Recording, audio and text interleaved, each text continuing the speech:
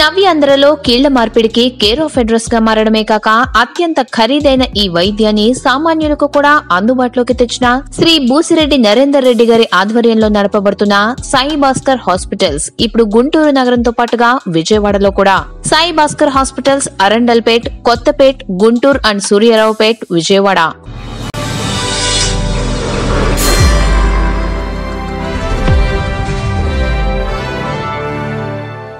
ఇప్పుడు మీరు చూసిన ఈ వీడియో మీకు నిజమనిపిస్తే లైక్ చేసి మీ ఫ్రెండ్స్తో షేర్ చేయండి.